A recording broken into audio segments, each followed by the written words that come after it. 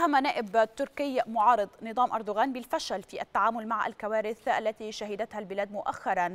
وأيضا الانهيارات الثلجية وحادث الطائرة كما قال بهي جليك النائب عن حزب الخير المعارض إن هذه الكوارث أثبتت ضعف النظام الحاكم موضحا أن الأزمات تتوالى على البلاد وليس لدى الحكومة عقلية تمكنها من تخطيها أو الخروج منها بأقل الخسائر